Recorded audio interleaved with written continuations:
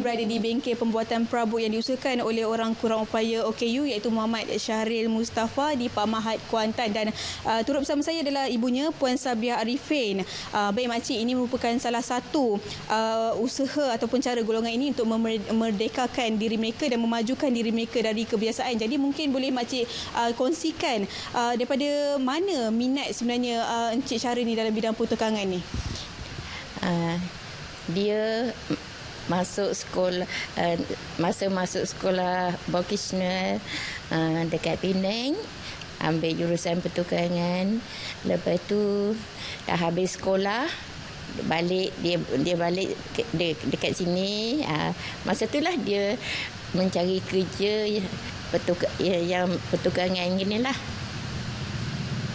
Okey makcik uh, mungkin uh, dapat lihat uh, kini dah ada bengkel sendiri jadi mungkin dari segi bantuan ada tak dapat bantuan-bantuan mesin ke tertentu dan daripada segi tempahan pula bagaimana uh, feedback ataupun respon uh, pelanggan-pelanggan Encik Syaril ni? Uh, mesin dia ada dapat bantuan dari Jabatan tenaga kerja. Uh, banyak jugalah macam-macam lah yang, yang digunakan uh, untuk buat kerja ni lah. Ha, nilainya anggaran RM20,000. Ha, pelanggan-pelanggan dekat sini Alhamdulillah lah tak adalah dia datang marah-marah tak ada. Ha, banyakkannya semua puji-puji lah. Ha, cantik dia kata. Okay, makcik sendiri, apa perasaan makcik bila yalah bila anak istimewa kan uh, mempunyai bengkel sendiri dah boleh berdiri dengan kaki sendiri. Kini uh, bagaimana makcik? Makcik bersyukur pada Allah uh, dia dapat buat kerja dia untuk masa depan dia. Uh, makcik pun senang.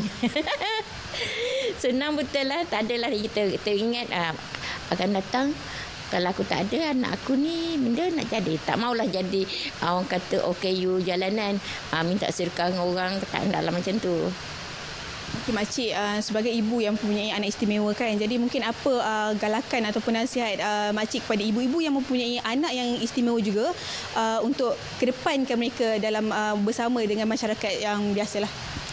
Bagi ibu-ibu yang ada anak anak OKU, uh, kita mesti dah bersabar apa yang dibuat. Kita banyaklah banyak-banyaklah beri dorongan. Apa macam apa kerja yang dia buat eh kita beri sokongan lah kat dia Okey baik Makcik terima kasih atas kongsian bersama. Uh, saya kira itu saja dari uh, dari saya uh, di Pahang kembali ke studio.